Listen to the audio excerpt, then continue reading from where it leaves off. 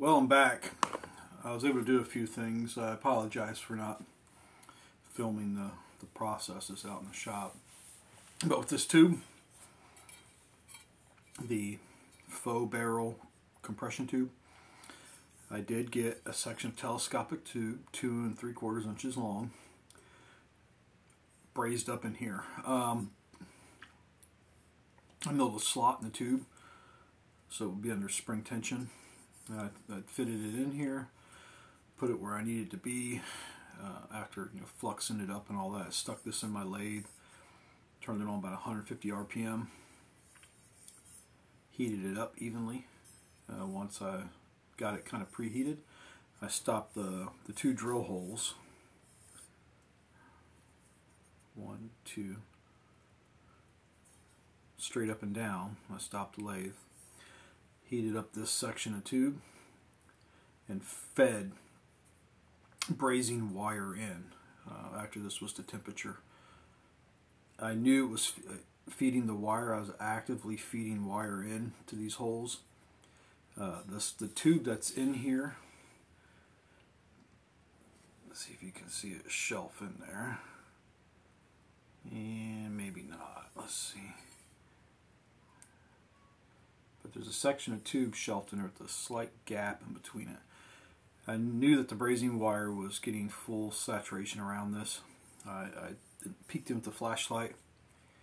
The slot in the insert tube that telescopically fits in here, these holes are at the bottom of the gun, which would be concealed by the fore end. The slot is at the top of the, the barrel. Uh, when I looked inside, I could see that slot in the, the, the tube wicking the brazing wire through so I knew I was getting full saturation. So that part is done uh, with this tube. That's probably the one of the more challenging parts of this build, making sure that that, that is uh, properly soaking in some of that braze. Um, additionally, here is the abutment washer there's a through hole 7 16 by 14 thread to accommodate the shot tube.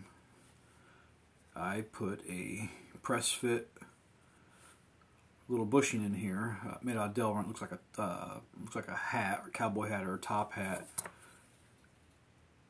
So this will fit nice and smoothly using just that straight bore, 7 16 diameter bore I think would have caused a lot of uh, compression loss, uh, the transition from this to this.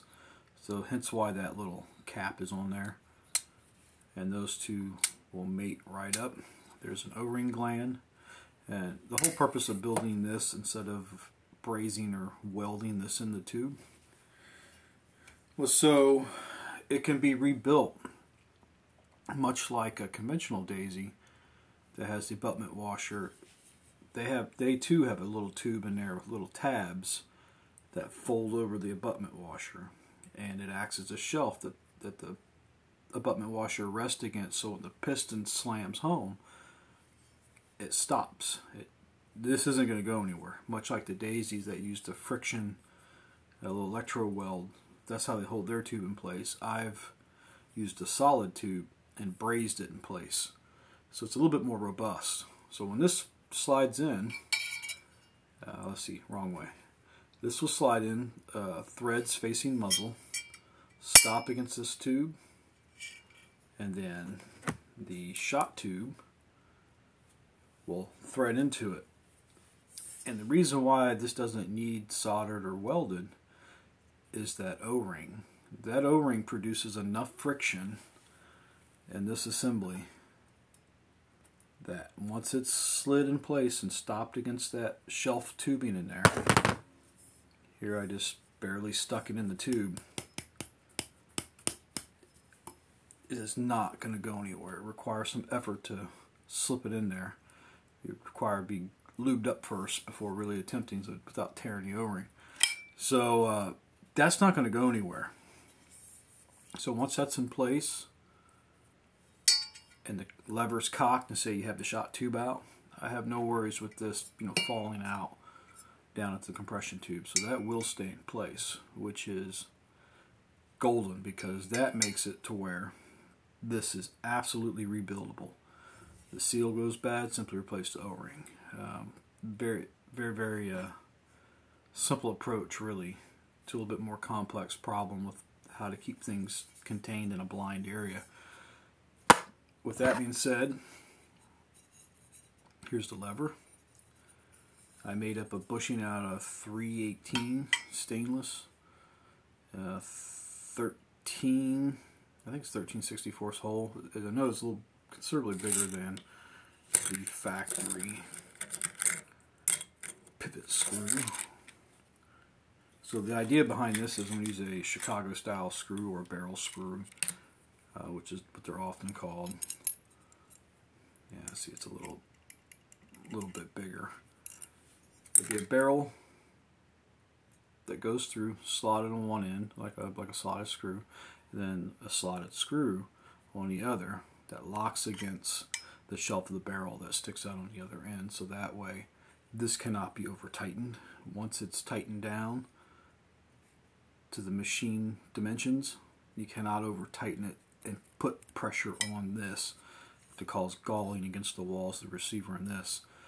And the additional thing I'm going to do is machine up three quarter diameter Delrin spacers that are about five thou thick, you know, paper thin, really, that go between this, that go on each side of this lever and between the receiver, and that'll be uh, anti-galling and reduce friction. So this is the, the raw metal's not rubbing against raw metal. That gives a little bit of a, a self-lubricating uh, washer between the two.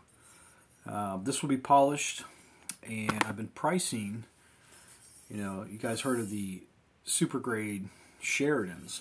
This is my take on a super grade Daisy. And what I may do once I get this all mated up and permanently attached to the receiver portion, I may actually send this off to have it gold plated but with titanium nitride coating. I think that would look pretty slick with uh, new furniture it'd be something out of the ordinary for certain. Um, that may be a little bit too royal looking, so uh, when I get this done, I'll mock it up in uh, some software and do a nickel finish, see what it looks like, do the gold finish. Um, but I'm really thinking gold or nickel, so that way it can kind of give that prestigious color to something that's going to be a pretty solid design done. So that, and again, that's kind of my take on the, the Daisy Super Grade. To use a solid tube to make the gun a very solid platform. They make them shoot them a little harder too. So I'm hoping uh, with with this here, with this setup, using O-rings, uh, like much like I did with the Daisy Red Ryder a number of years ago, that this system is going to make the most beneficial use out of, such the small compression volume of air that it actually uses. Uh, I know for certain it's going to shoot well over 400. Uh, with the Daisy I did, I was shooting uh, 460s on the Red Ryder, and that's using a piece of brass tube that telescopically fit inside the receiver tube. Uh, requires some redesign. But that air gun, um, after I redid it and made it all pretty and you know custom bits and pieces to it.